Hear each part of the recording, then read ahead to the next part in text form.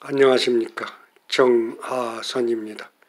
오늘도 제가 쓴 시 한 편을 낭독을 해 드리도록 하겠습니다.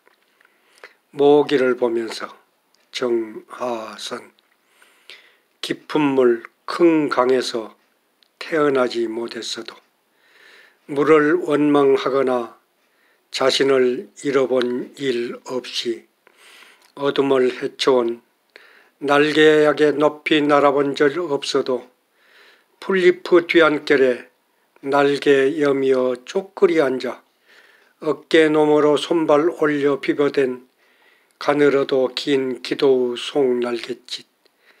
그 미세한 울림 하나로 마음속 모세 혈관에 흐르고 있는 그리움 한 줄기까지 진동으로 울림으로 뜨겁게 주고받는 빛을 갖춘 자들이 귀 기울여진 일 없어도 보이지 않는 혈맥 찾아 어둠을 뚫으며 세상을 떠매고 온 풀잎으로 연명하던 끼니 자식 위한 어미의 간절함.